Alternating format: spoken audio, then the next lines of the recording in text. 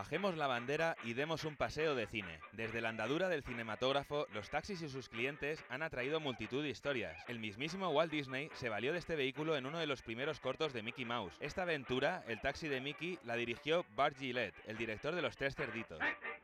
Pero viajemos rápidamente a España o la carrera nos saldrá por un ojo de la cara. Aquí encontramos ejemplos de taxistas generalmente en comedias, como fue el caso de ¿Qué hacemos con los hijos? ¿Quién nos recuerda a Paco Martínez Soria ayudando a dar a luz a una embarazada?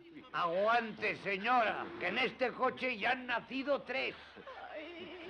Y si esta situación les parece caótica, tomen nota de Tadeo, taxista que interpreta a Juanjo Menéndez en El taxi de los conflictos. Aunque desconocida, es una de las películas más corales de nuestra filmografía, con apariciones como la de Carmen Sevilla, Marisol, Masiel, Peret, Juan Diego, Gracita Morales o la mismísima familia Flores. Ahí es nada.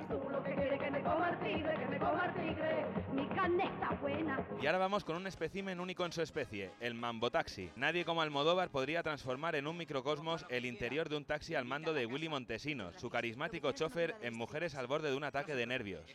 ¿Le molesta el mambo?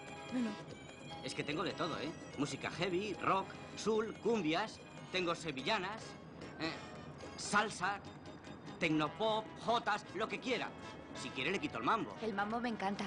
Pero aunque la mayoría de las películas hagan un uso cómico de esta profesión, no hay que olvidar otras que se valen para plasmar sórdidas y truculentas historias. Por un lado, Las horas del día, la primera película de Jaime Rosales, el protagonista asesina personas para detonar su monótona vida y una taxista es su primera víctima. Y en otro extremo está el caso de Taxi, de Carlos Saura. En este film, Ángel de Andrés lidera una banda de taxistas fascistas que limpian la ciudad de un modo intransigente y violento. ¿Le importa si fumo? Fume, fume.